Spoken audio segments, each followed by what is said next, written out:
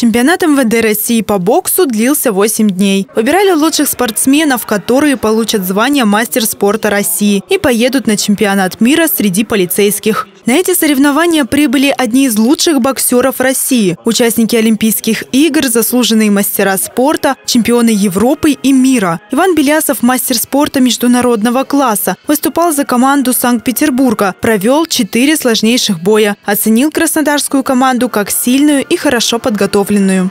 А Краснодарский край здесь выступил довольно-таки неплохо, я бы сказал, даже очень, а, так как они заняли второе место общекомандное, у них два чемпиона, то есть, ну, они вообще молодцы. Впервые в рамках чемпионата МВД России Краснодарский край занял почетное второе место. Спортсмены отметили, чемпионат прошел на высоком уровне.